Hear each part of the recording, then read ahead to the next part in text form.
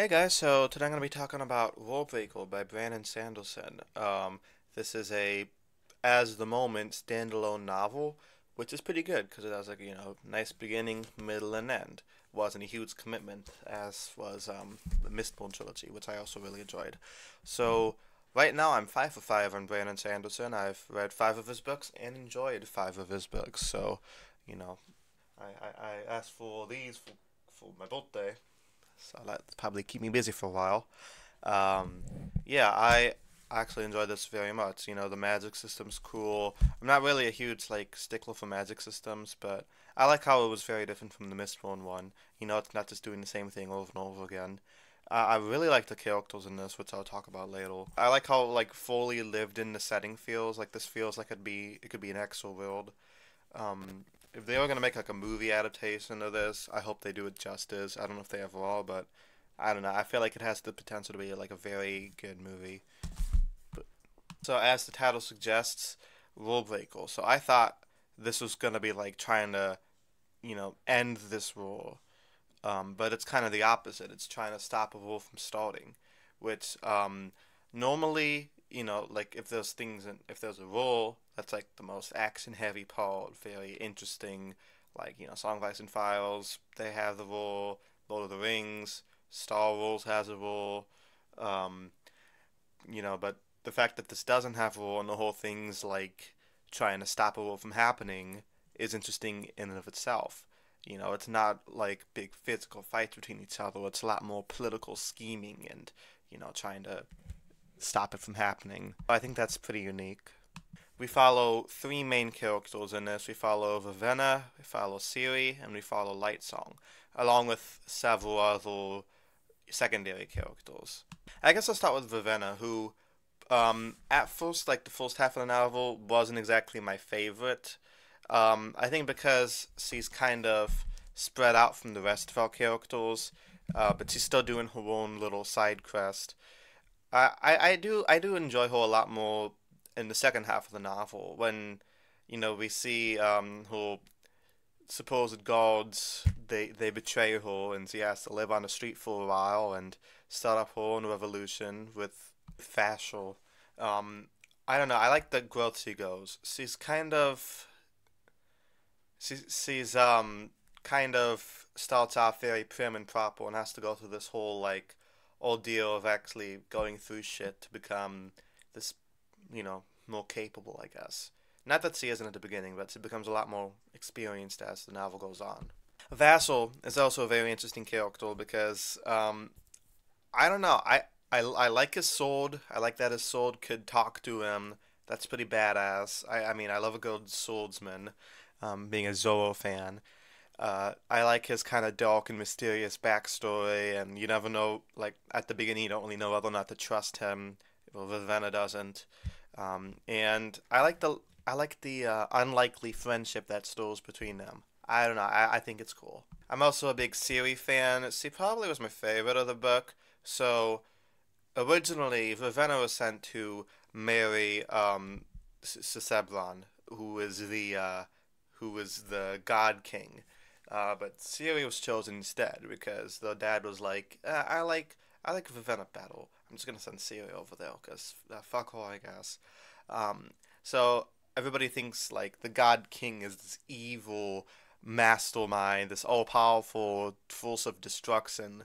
Um, it turns out he's actually he's actually pretty cool. You know, he's nice. Um, so it's a very like the he's like the opposite of Joffrey from Game of Thrones.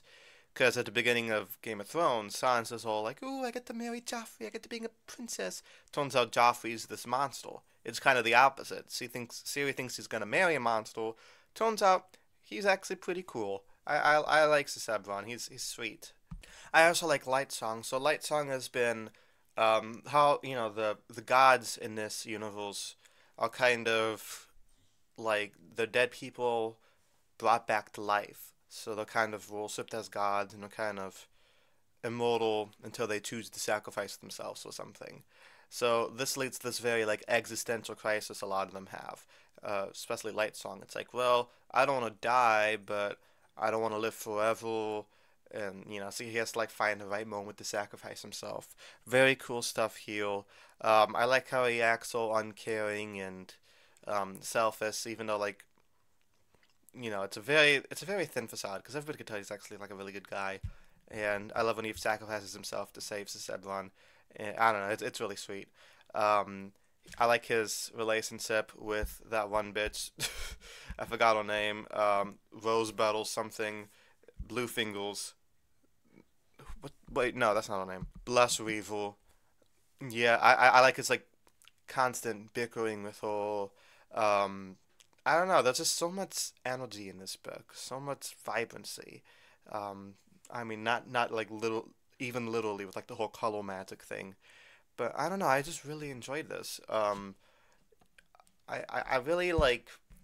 I don't like saying too much because I, I, I notice some of my older videos is just me reciting the plot line for line, and I kind of want to keep these more brief and on like my critical thoughts rather than just a summary. Denth is our major bad guy. I, I guess if I have any criticism, it's I don't know. He's he's just kind of there. Like you think he's gonna be friends with Ravenna, turns out he's not. But I do like like the full shouting. Like they kind of he kind of just laid it out for her. Like yeah, I'm not your friend. I'm gonna betray you, and he does. So that's kind of clever. But in terms of him, I'm not like he's not like a, the best villain ever. Like some of the Mistborn villains were. He's just kind of there. So I don't know. Um, yeah. Overall though, really enjoyable book. Like I said, I'm five for five with Brandon so far.